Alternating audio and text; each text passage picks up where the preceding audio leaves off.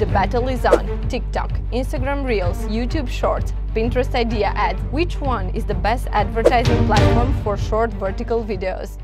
Let's find out.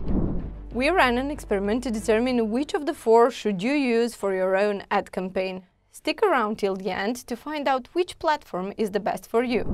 The advertising industry is in a bit of a crisis lately. The death of cookies, the iOS 14.5 made targeting almost impossible, and ads are more expensive than ever. In this shady context, a lot of new trends emerge, one of them being short-form video ads.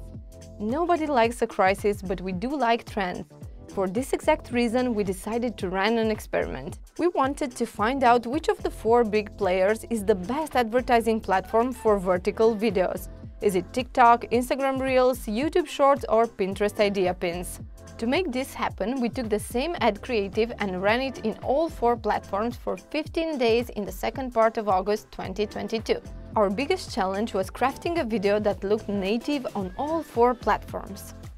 TikTok is all about spontaneous content, Pinterest idea pins are on the inspirational side, Instagram Reels are all aesthetics and YouTube Shorts are basically short YouTube videos. We wanted to show that you can make an ad in Creatopy faster than you can make a simple coffee. Big challenge ahead, a random coffee or a banner from scratch.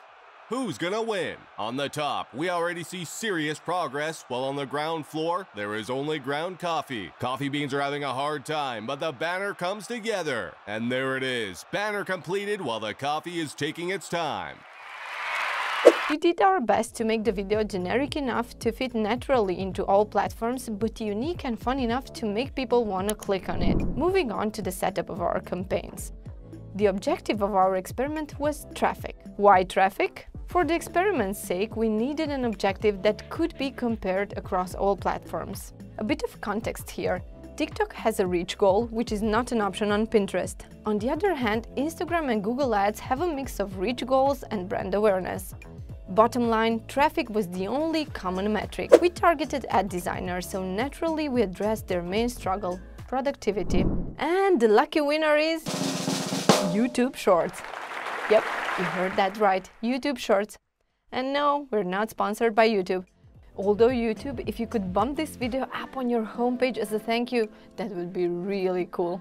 If we look at this chart right here, YouTube brought the most users to our landing page, while Pinterest Idea brought the least. If we look at the engagement rate, YouTube Shorts only came in second after Instagram Reels. As far as the video completion rate goes, YouTube Shorts came in second again, just behind Pinterest. So what can we learn from all this? First of all, you should really consider YouTube Shorts, especially if your goal is to bring traffic to your website. Pinterest is the place to be for brand awareness. The video completion rate was the highest on Pinterest. In fact, Pinterest published their own case study that showed that on average, users who saw idea ads were 59% more likely to recall the brand. If your goal is to get high-quality visitors to your site, you need to try Instagram Reels. The high engagement rate on Reels shows that people who arrived on our landing page were interested in what we had to offer. We expected TikTok to be the overall winner, but its limited targeting capabilities gave it a disadvantage. There are all sorts of limits when it comes to targeting audiences and choosing an objective, not to mention the minimum daily budget of 50 bucks. So there you have it.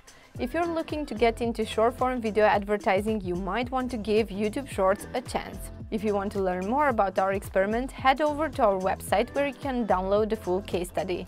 You'll find the entire breakdown of our results, including the CPC and CPM for every platform, along with other details that we didn't cover in the video. Make sure to follow us on our socials and let us know your thoughts on our little experiment. I'm Laura and I'll see you around if you're into ad-related videos. See ya!